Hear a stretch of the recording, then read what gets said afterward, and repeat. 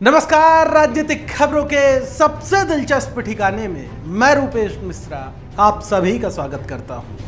दरअसल कांग्रेस पार्टी इन दिनों ग्रह कलेश से उबर ही नहीं पा रही है। बात चाहे पंजाब की करे, राजस्थान की करे, छत्तीसगढ़ की करे, लगभग हर जगह कांग्रेस पार्टी इन दिनों बुरी तरीके से ग्रह क्लेश में उलझी हुई है।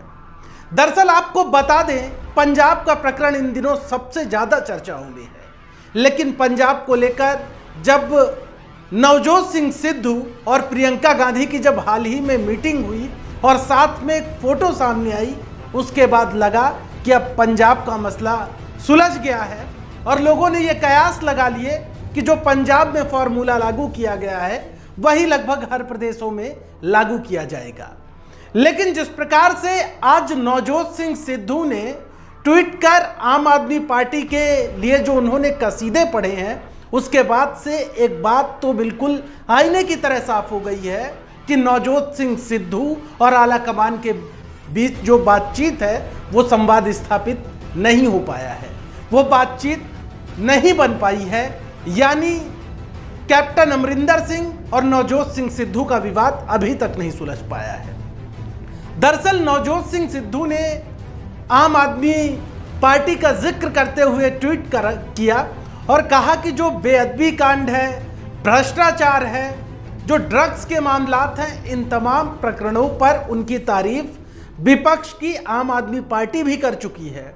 और जो पंजाब को लेकर, जो सिद्धू का जो एक मॉडल है, उसकी भी तारीफ़ की जा चुकी है। और पंजाब का असली हिमायती कौन है, पंजाब के असली मुद्दे कौन उठाता है, ये भी उसे पता है।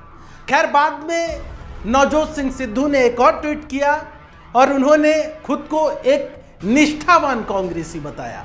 लेकिन ज़ाहिर तौर पर जिस प्रकार से हालात हैं, उससे एक बात बिल्कुल साफ़ हो गई है कि प्रियंका गांधी और नवजोत सिंह सिद्धू के बीच जो बातें हैं, वो अभी तक नहीं बन पाई हैं। यानी सिद्धू की जो शिकायतें हैं, वो बदस्तूर बरकरार हैं। खैर, आज दोपहर में एक खबर पंजाब से जुड़ी ये भी निकल कर सामने आई कि मुख्यमंत्री कैप्टन ही रहेंगे।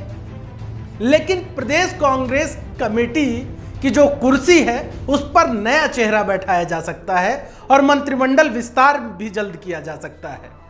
लेकिन जिस प्रकार से शाम होते होते जो राजनीतिक घटनाक्रम बदला, उससे कहीं ना कहीं कहा जा सकता सकता है कि सिद्धू को साध पाना कांग्रेस पार्टी के लिए, कांग्रेस आला कमान के लिए इतना आसान नहीं है।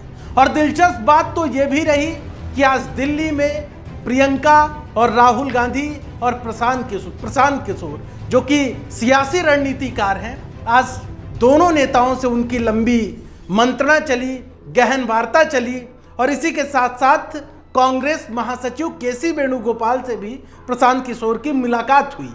अब इस मुलाकात के कई मायने निकाले जा रहे हैं। कुछ सियासी विश्लेषकों का कहना है कि आगामी लोकसभा चुनाव को लेकर प्रशांत किशोर एक अलग रणनीति के तहत घेराबंदी कर रहे हैं। तो कुछ राजनीतिक विश्लेषकों का यह भी कहना है कि पंजाब में जिस प्रकार से सियासी रार ठनी हुई है, उस सियासी रार का फॉर्मूला लेकर प्रियंका और राहुल के पास प्रशांत किशोर पहुँचे। खैर क्या है पूरा मामला और कैसे ये सिद्धू का झगड़ा निपट पाएगा, ये किसी को नहीं पता। लेकिन ये बात साफ़ है कि जब पंजाब का विवाद ही आला कमान अभी तक नहीं सुलझा पा रहा है तो फिर आखिर राजस्थान का विवाद कैसे सुलझ पाएगा? क्योंकि राजस्थान में भी हालात लगातार जो ग्रह क्लेश है कांग्रेस पार्टी की, वो चरम पर है। पायलट बनाम गहलोत की जंग बदस्तूर जारी है और सचिन पायलट लगातार दिल्ली दरबार और आला कमान की ओर कहीं ना कहीं एक आशा भरी निगाहों से देख रहे हैं कि कब जो उनका, जो उनकी शिकायतें हैं, उनका निवारण होगा। और कहा जा रहा था कि पंजाब का विवाद जैसे ही सुलझेगा, उसके बाद प्रियंका गांधी राजस्थान का विवाद निपटाएँगी। लेकिन सवाल यह है कि सिद्धू ने जिस प्रकार से आज ट्वीट कर एक नया माहौल नई सियासी अटकलें लगा दी है। उससे कहीं ना कहीं ये साफ़ हो जाता है कि क्या पायलट के सियासी जख्म भी इसी प्रकार से बदस्तूर बरकरार रहेंगे। और यदि उन सियासी जख्मों का वक्त रहते इलाज नहीं किया गया तो क्या पायलट भी कोई बड़ा फैसला ले सकते हैं? खैर, ये सियासत की दुनिया है और सियासत की दुनिया में सब कुछ संभव है। और सियासत में जिन सवालों का जवाब आप चाहते हैं, उन सवालों का जवाब वक्त की गर्भ में छिपे होते हैं। दोस्तों, कल फिर हाजिर होंगे सियासत की दिलचस्प खबर लेकर। तब तक के लिए नमस्कार।